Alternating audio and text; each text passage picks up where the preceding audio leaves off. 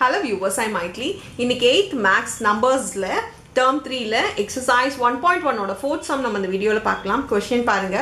Study the given numbers and justify why each of them obviously cannot be a perfect square இது வந்து perfect square இல்லைன்னு அவங்களே சொல்லிட்டாங்க.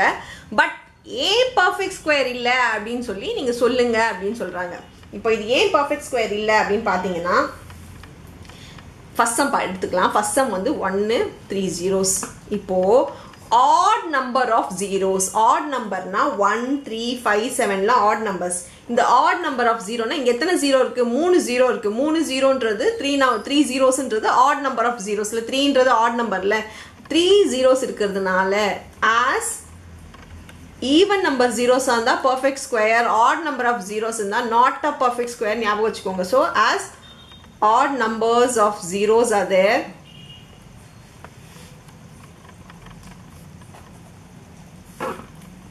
it is not a perfect ஸ்கொயர்னு எழுதிக்கோங்க.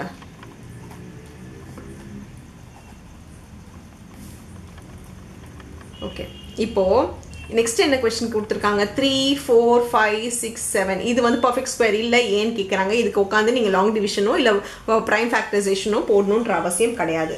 இது எப்படி பர்ஃபெக்ட் ஸ்கொயர் இல்லை அப்படின்னு நம்ம சொல்லலான்னு பார்த்தீங்கன்னா முடியிறது என்ன நம்பர் பாருங்கள் முடியிறது செவனில் முடியுது. செவனில் முடியிற நம்பர்ஸ் டூ த்ரீ செவன் எயிட்டில் முடிஞ்சாலே அது வந்து ஒரு பர்ஃபெக்ட் ஸ்கொயர் கிடையாது.